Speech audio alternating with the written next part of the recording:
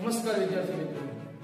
I Jayesh today welcome you all to my channel fragrance of education means education મિત્રો home learning અંતર્ગત COVID 19 ની જે મહામારી છે, એના કારણે ઘણા બધા શિક્ષકો દ્વારા ઘણા બધા પ્રયત્નો કરવામાં આવ્યા છે. અલગ અલગ એપ્લિકેશનના માધ્યમથી whether it is Microsoft team Shiksha Zoom app Google Meet એવી ઘણા બધા પ્રકારની જે એપ્લિકેશન છે.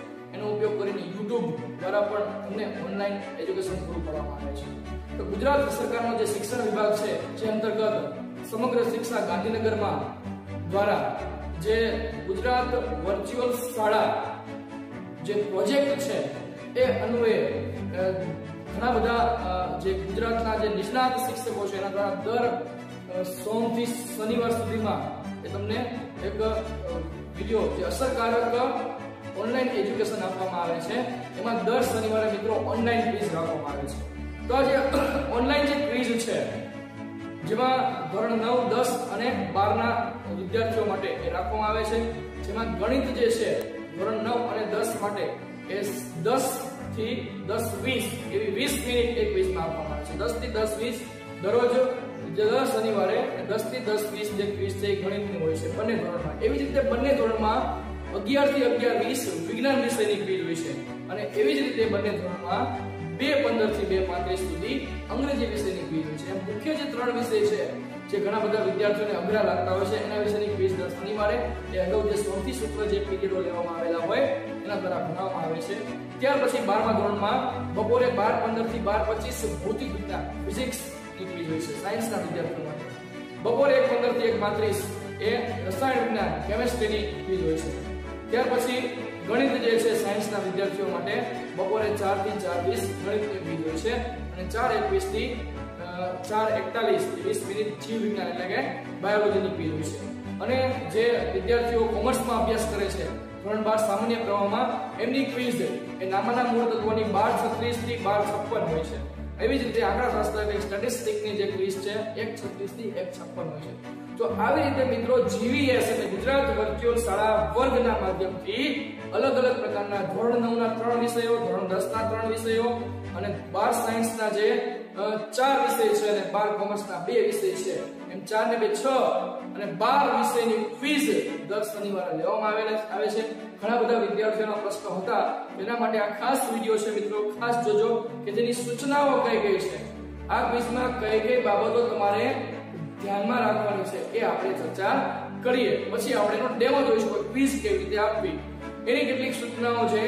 સમગ્ર શિક્ષણ દ્વારા જ આપવામાં આવેલી છે કે આ પરીક્ષાનો સમય ઓનલાઈન ક્લાસ ઓનલાઈન ક્લાસના સમયથી પાંચ મિનિટ પછી ચાલુ થશે. જેમ તમે ટાઈમ ટેબલ જોયું, એમ પાંચ મિનિટ પછી અગિયાર વાગે શરૂ થાય તો અગિયાર ને પાંચે આ ક્વિઝ શરૂ થાય. એવી જ રીતે પાંચ મિનિટ પછી શરૂ થશે. આ પરીક્ષા માત્ર તમારા જ્ઞાન કૌશલ્ય માટેની છે ખાલી જાણવા માટેની છે. પરીક્ષાના સમય દરમિયાન પેજ રિફ્રેશ તમે જે વેબસાઇટ ઓપન કરો છો એ વેબસાઇટ ક્લિક કર્યા પછી રિફ્રેશ કરશો તો તમારો બધો જ ડેટા ફસાઈ જશે અને ફરી તમારે એક ક્વિઝ આપવી પડશે તમે એક પ્રશ્નનો જવાબ આપશો પછી જ બીજો પ્રશ્ન આવશે એટલે એક પ્રશ્ન ટીક કરો પછી સબમિટ કરો બીજો પ્રશ્ન ટીક કરો સબમિટ કરો તેવી રીતે આ ક્વિઝ આવે છે પરીક્ષાનો સમય 20 મિનિટનો રહેશે મિત્રો તમે તમારા નામની ક્વિઝ ઓપન કરો ત્યાર પછી 20 મિનિટ સુધી તમે ક્વિઝ આપી શકશો. પણ ખાસ ધ્યાન રાખવાનું 11 વાગે ક્વિઝ શરૂ થઈ અને 11 ને 20 પૂરી થતી હોય, તેમાં તમે કદાચ 11 ને 15 ક્વિઝ શરૂ કરેલો તો 11 ને 20 તો ક્વિઝ પૂરી થઈ જ જશે. એટલે આવી રીતે 20 મિનિટના સમયની અંદર જ તમારે જેમ વહેલી ક્વિઝ શરૂ કરશો, તો તમે પૂરતો સમય લઈ શકશો. પરીક્ષાના કુલ 10 પ્રશ્નો હશે. 10 પ્રશ્નો આપવામાં આવે છે. એક પ્રશ્ન ઉપર ક્લિક કરો સબમિટ આપો. બીજો જવાબ ક્લિક કરો સબમિટ આપો. એમ એક ક્લિક કરવાથી તમે આગળ વધી શકો છો અને છેલ્લે બધી જ ક્વિઝ પૂરો થયા પછી દસે દસ પ્રશ્ન પૂરા થયા પછી સબમિટ આપવાનું છે અને દરેક પ્રશ્નના ગુણ પાંચ છે. તો મિત્રો, આ છે સૂચનાઓ. ચંદ્ર જે ઘણા બધા વિદ્યાર્થીઓ હતી. અને હવે આપણે એનો ડેમો જોવાનો છે. ક્વિઝ કેવી રીતે આપ સૌપ્રથમ વિદ્યાર્થી મિત્રો અહીંયા જે સાઈડમાં તમને બતાવે છે. School attendance Gujarat dot ORG public home learning public index નામની જે લિંક છે, એ તમારે ગૂગલ ક્રોમ કે મોઝિલા ફાયરફોક્સ કે કોઈ પણ તમે વેબ બ્રાઉઝર વાપરતા હોય, એમાં ક્લિક કરવાની છે. અથવા તમને જે લિંક મોકલેલી છે WhatsApp એમાં ડાયરેક્ટ ક્લિક કરો તો પણ એ ઓટોમેટિક જે ડિફોલ્ટ વેબ બ્રાઉઝર હોય, એમાં ખુલી જાય છે. તો સૌપ્રથમ આપણે આ જે લિંક છે, એ ઓપન કરીએ છીએ. તો તમને મિત્રો આ રીતનું તમને બતાવશે. કોમ્પ્યુટરમાં આ રીતનું બતાવશે. મોબાઈલમાં ખાલી સિંગલ સાઇટનું જે ટ્રેકેબલ સિવાયનું જે છે એ સિંગલ સાઈડનું બતાવશે.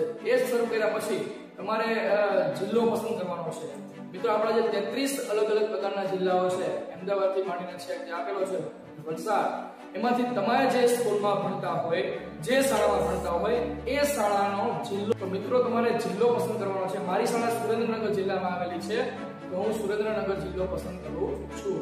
જિલ્લા ઉપર ક્લિક કર્યા પછી આવશે તાલુકો. તાલુકામાં તમારો જે શાળા જે તાલુકામાં આવેલી હોય તે તાલુકો પસંદ કરવાનો છે. તો સુરેન્દ્રનગર જિલ્લામાં મારી શાળાનો ધ્રાંગધ્રા તાલુકો છે. તો હું એ ધ્રાંગધ્રા તાલુકો પસંદ કરું છું. ધ્રાંગધ્રા તાલુકામાં મારી શાળા આવેલી છે. ત્યાર પછી તમારી શાળા, વિદ્યા, વિદ્યાર્થી મિત્રો, જે તાલુકામાં જેટલી શાળા હશે, માધ્યમિકમાં એ બધી શાળાઓ બતાવશે. તો તમારે આમાં જેટલી તમારી જે શાળા હોય, એ શાળા ઉપર ક્લિક કરવાથી તમારી શાળા સિલેક્ટ થશે. મારી શાળા છે રાવડિયા વગર માધ્યમિક શાળા. તો હું એ રાવડિયા વદર માધ્યમિક શાળા સિલેક્ટ કરું છું અને પછી આગળ આપણે જોઈએ. તો અહીંયા રાવડિયા વદર માધ્યમિક શાળા. હવે મિત્રો, ધોરણ, તમારે કયા ધોરણની ફીસ આપવાની છે? મિત્રો, એક ખાસ ધ્યાન રાખવાનું કે જે વિષયની ક્વિઝ ચાલુ હશે તો જ ક્વિઝ ચાલુ થશે, નહીંતર ક્વિઝ ચાલુ થશે નહીં. તો આપણે જોઈએ કે દસમા ધોરણની ક્વિઝ આપી છે, તો દસમા ધોરણની ક્વિઝ અહીંયા ક્લિક કરીએ. બરાબર? અને હવે વિદ્યાર્થીનું નામ, તમે જે ધોરણમાં ભણતા હો તો તમારું નામ ઓટોમેટિકલી આમાં આવી જશે. યુડાયસના જે ડિફોલ્ટ ડેટા એન્ટ્રી છે એના આધારે આવી જતું હોય છે. તો અહીંયા આપણે પહેલું જે બીજું નામ છે, બરોબર, આકાશ મુકેશભાઈ રાઠોડ હું ક્લિક કરું છું, ફક્ત જાણ માટે. બાકી બધા વિદ્યાર્થીઓના નામ આપેલા હશે તમે તમારું નામ કોમ્પ્યુટર ઉપર જોતા રહો તો ડાયરેક્ટ જે શબ્દ હશે તમારું નામ લખાવશો તો સ્ક્રીન ક્લિક કરશો, તો પણ તમારું નામ આવી જશે. મોબાઈલમાં તમારે એ નામમાં જે સ્ક્રોલ કરવું પડશે. બરાબર? હવે મોબાઈલ નંબર તમારે એન્ટર મોબાઈલ નંબર એન્ટર કરી નાખું છું. અને મોબાઈલ નંબર એન્ટર કર્યા પછી મિત્રો મોબાઈલ નંબર ખાસ જણાવજો સાચો મોબાઈલ નંબર એન્ટર કરવાનો, જેથી કરીને સમગ્ર શિક્ષા દ્વારા તમારો જો સંપર્ક કરવાનો થાય, તો કરી શકે ત્યાર પછી ખાસ મહત્વનું છે, ઘણા બધા વિદ્યાર્થીઓને ખબર હતી કેપ્ચા કોડ કેપ્ચા કોડ આપ્યા પછી તમારે એ સ્ટાર્ટ ટેસ્ટ કરવાનું છે. કેપ્ચા કોડ તમે જે આપેલો હોય, લખશો મિત્રો, આ બાબતે ખાસ ધ્યાનમાં રાખવા એ બાબત કે કેપ્ચા કોડ છે એ એક જ મિનિટમાં ચેન્જ થઈ જતો હોય છે. ઘણી બધી વખત ટ્રાય કર્યા પછી. અને નહીંતર જો તમે વધારે ઉપર વાર લાગે તો કેપ્ચા કોડ કામ નહીં કરે. એમ લાગશે ઇનવેલિડ કેપ્ચા કોડ લખેલો ઝડપથી જેટલી તમે ઉપરની માહિતી ભરશો રિફ્રેશ કર્યા પછી, તરત જ તમારે કેપ્ચા કોડ દાખલ કરશો, તો જ તમારી પેજ શરૂ થશે. નહીંતર તમારી પેજ શરૂ થશે નહીં. ઘણા બધા વિદ્યાર્થીઓનો આ ક્વેશ્ચન હોય છે કે ઇનવેલિડ કેપ્ચા બતાવે છે અથવા ટેસ્ટ શરૂ થતી નથી, તો એ કેપ્ચા કોડની વાત છે. એમાં જે અક્ષરો આપેલા હોય અહીંયા આપેલું છે U Q Z small Z 5 અને ડબલ્યુ કેપિટલ તો આવી જ રીતે તમે જો લખશો, તો જ તમે કેપ્ચા કોડ આપી શકશો. અને પછી સ્ટાર્ટ સ્ટાર્ટ ટેસ્ટ ઉપર ક્લિક કરવાથી તમે પરીક્ષા આપી શકશો કેપ્ચા કોડ મિત્રો ખૂબ જ મહત્વની બાબત છે કે કેપ્ચા કોડ આપ્યા પછી સ્ટાર્ટ ટેસ્ટ ક્લિક કરવાની અહીંયા આપેલો છે U Q Z capital small Z 5 અને ડબલ્યુ જેવો કેપિટલ આપેલો કેપિટલ સ્મોલ તો સ્મોલ અને એવી જ રીતે તમારે ત્યાં કેપ્ચા કોડ લખવાનો છે. અને પછી સ્ટાર્ટ ટેસ્ટ ઉપર ક્લિક કરવાથી તમારી પરીક્ષા શરૂ થશે. અને પછી પરીક્ષા શરૂ કરવા માટેનું ઓપ્શન આવશે. ત્યાં સુધી આવશે નહીં. મિત્રો, આ બધી જ બાબત ખાસ ધ્યાન રાખજો. મને લાગે છે કે હવે આ બાબત સમજ્યા પછી તમને ટેસ્ટ શરૂ થાય પછી પેજને રિફ્રેશ કરવું નહીં. અને પછી છેલ્લે સબમિટ બટન દબાવવાનું ભૂલતા નહીં. આ ક્વિઝ અત્યારે શરૂ નથી, એટલા માટે મેં બતાવી નથી પણ તમે આ સ્ટાર્ટ ટેસ્ટ ઉપર ક્લિક કરશો એટલે જે ધોરણની જે ક્વિઝ હશે એ બતાવશે. અને આવી રીતે તમે મિત્રો ક્વિઝ આપતા રહો. થેન્ક યુ કોઈ પણ પ્રશ્ન હોય તો કોન્ટેક્ટ કરી શકો છો આ મોબાઈલ નંબર ઉપર. અને વધારે માહિતી માટે મારી જે ચેનલ છે એજ્યુકેશનમાં ધોરણ નવ અને દસના અંગ્રેજી વિષયના બધા જ વીડિયો મૂકવામાં આવેલા છે. એને તમે જુઓ અને સમજો. પરીક્ષામાં આગળ સારામાં સારા ગુણથી પાસ થાવ.